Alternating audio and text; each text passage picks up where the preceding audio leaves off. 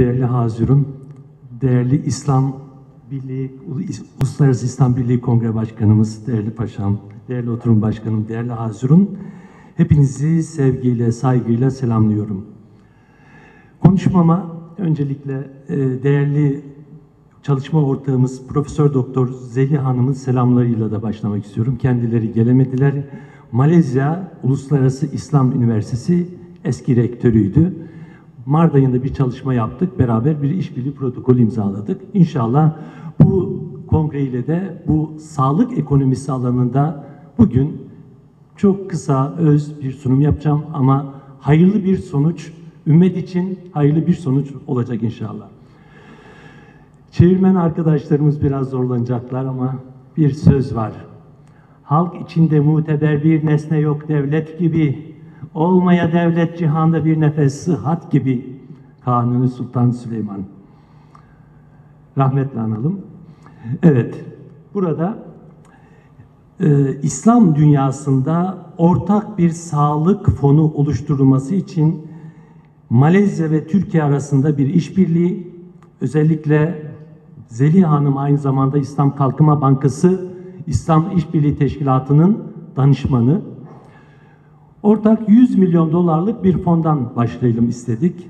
Ortak bir araştırma merkezi, ortak bir enstitü kurmak.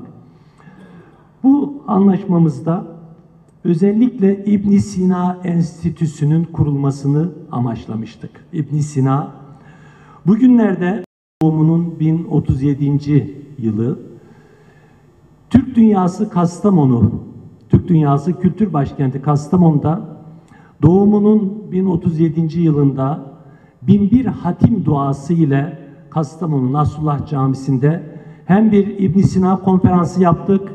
İlk defa İbn Sina'dan günümüze iz bırakan binbir kişiye de bir Fatiha gönderdik. Canlı yayında TGRT'den birçok kanallardan bu Türkiye ve dünya genelinde cuma namazı sonrası bir uygulamaydı. Vakit dua vakti diye.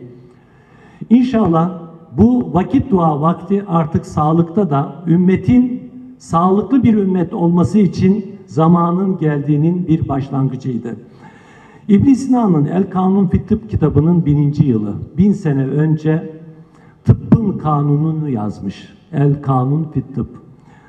Aslında ne kadar geç kaldığımızı bin yıl sonra ülkemizde İbn Sina üzerine doktora yapmış bir iki kişinin olmadığını gördük. Sadece İsrail'de yedi kişi. El Kanun Fit Tıp kitabının yüzlerce dile, yüzlerce demeyeceğim ama birçok dile ve defalarca İsrail'de çevrildiğini duyduk. Biraz hüzünlendik. Niye sahip çıkmıyoruz? Bu değer bizim değerimiz değil miydi? Dünyanın tanıdığı bir otorite değil mi? Hala daha bir üniversitesini kuramamışsak, hala daha İbn Sina Vakfı'nı kuramamışsak biraz değerlerimize sahip çıkmadığımızın göstergesi oluyor. İnşallah bu kongre ikincisi yapılan Uluslararası İslam Birliği Kongresi'nin çok hayırlara vesile olacağını şimdiden temenni ediyoruz ve duamız olacak. Biz de dedik ki sağlık alanında en azından bu ortak sağlık fonunun geliştirilmesini başlatalım ve örnekleriyle büyük projeler, ecdadımız büyük projeleri yapmış zamanında. Geçenlerde Fas'taydım. Fatıma El Fıkriye ilk üniversiteyi kuran Müslüman bir kadın. 900'lü yıllarda Fas'ta Fes kentinde İslam dünyasının en önemli üniversitesini kuruyor. Hem dini ilimler hem müsbet ilimler bir arada. Bin yıl önce neredeyse. Artık hayat çok değişti. Entegre projeler yapmak zorundayız. Zaman çok hızlı ilerliyor. Ortak çalışmak, ortak işbirliği yapmak.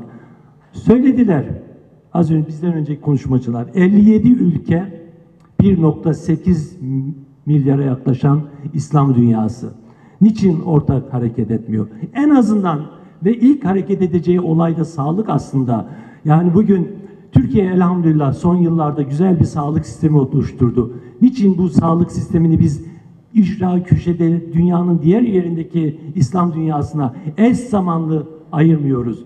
Yaşam beklentisi Türkiye'de 80, Afrika'nın bazı İslam, İslam ülkesi olan Afrika'da 50. Arada 30 yıl fark var. Eğer biz çok ciddi bir hareketle 5-10 yıl içerisinde İslam dünyasında yaşam beklentisini 50'den 60'a, 60'tan 70'e çok rahat çıkartabiliriz. Sadece organizasyon, her şey var. Bu bir örnek bir proje. Diğer bir örnek proje, bu uygulanmış projeleri özellikle sizlerle paylaşmak istedik.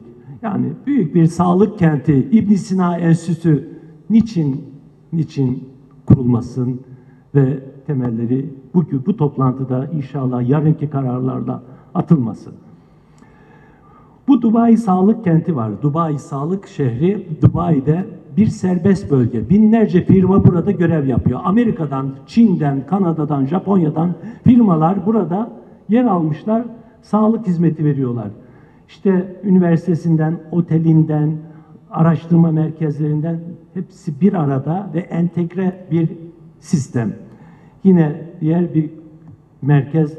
Bunlar Çin'de, Vietnam'da, Kore'de böyle sağlık şehirleri kurulmuş ve bitmiş durumda. Yani örnek arıyorsak bunlar kurulmuş. Biz de zaman geçmiş değil. İnşallah İbn Sina Enstitüsü'yle ve İslam İşbirliği Teşkilatı Sağlık İşbirliği Programı'yla bu projeyi buradan başlatmanın, buradan duyurmanın ve sizlerle birlikte sağlıklı ümmet projesini başlatmanın heyecanını yaşamak istiyoruz. Çünkü biz ümmetiz.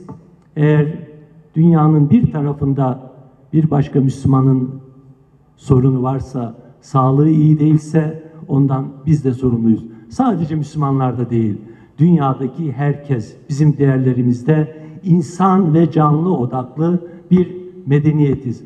Ecdadımız zamanında Şifahane-i Leylekhan, Leylekler Hastanesi yapan bir ecdadın torunlarıyız.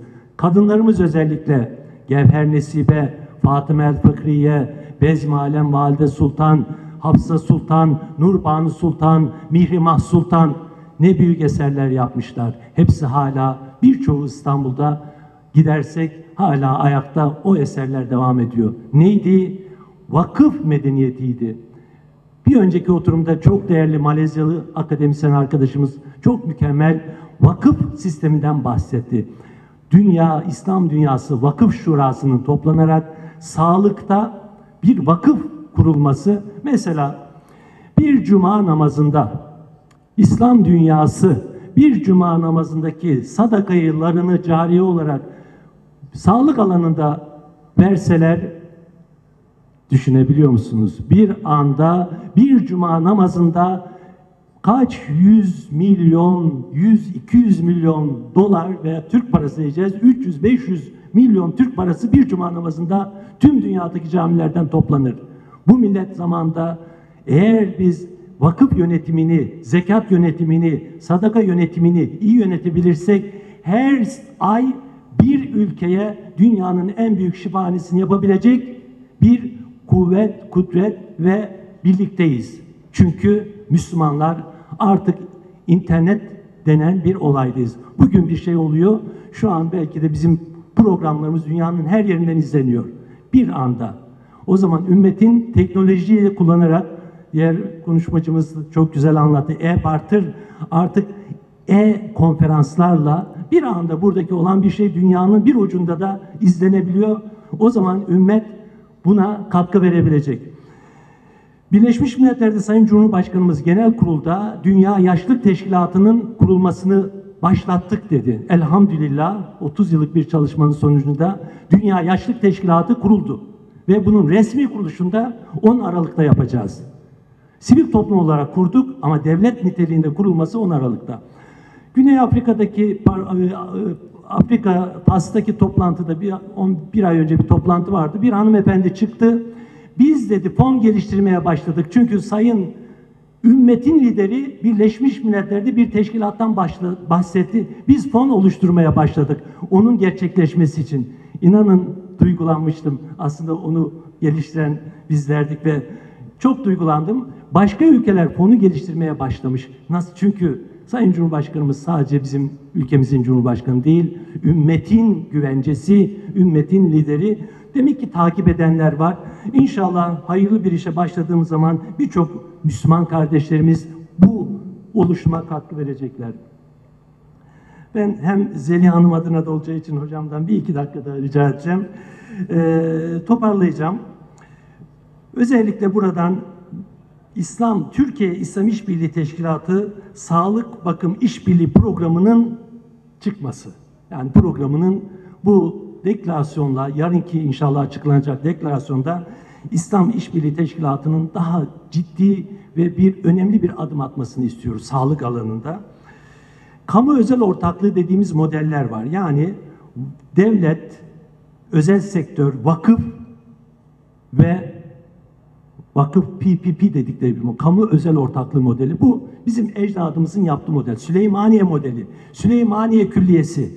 Anaokulundan üniversitenin her bölümüne kadar mezar kap, anne karnından kabre kadar bir eğitim yeri var Süleymaniye'de. Bir görmenizi arzu ediyorum. Çok farklı bakış açısıyla ilkokul, ortaokul, lise, üniversite, hastane, şifahane o zaman bimarhane, akıl hastaları için ayrı, davru ziyafe, taphane, klinik otel, geleceklerin konaklaması düşünülmüş ve hamamlar, hamam, alışveriş merkezleri, kervansaraylar, cami, Darul Funun, Darul Kurra, Darul Hadis yani müsbet ilimlerle dini ilimler bir arada çok başarılı bir şekilde dünyaya örnek verilerek uygulanmış. Tekrar müsbet ilimlerle dini ilimlerin bir arada verildiği külliyelere en kısa zamanda dönmek zorundayız.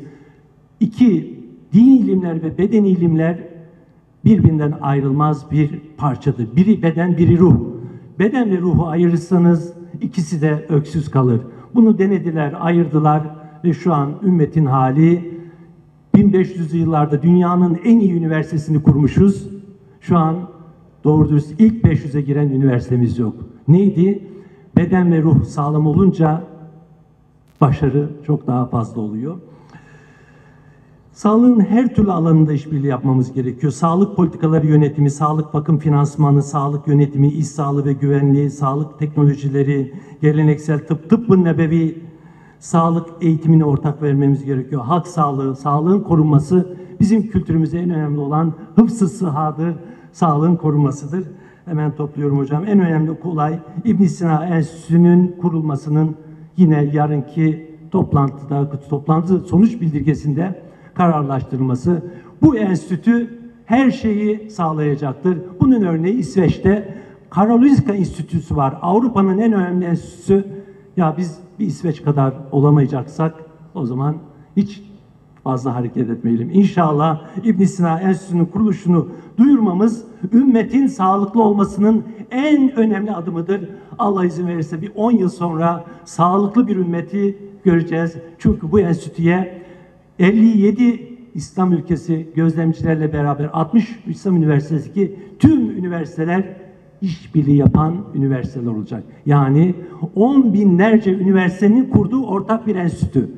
Bundan daha büyük mutluluk olamaz. Bu nedenle İslam Uluslararası İslam Birliği Kongresi'nin başından sonuna kadar emeği geçenlerinden Allah razı olsun. Hepsinden Rabbim hepsine sağlıklı, huzurlu bir ömür versin ki ikinci, üçüncü, dördüncü toplantılarda da daha mükemmel kararlar çıksın.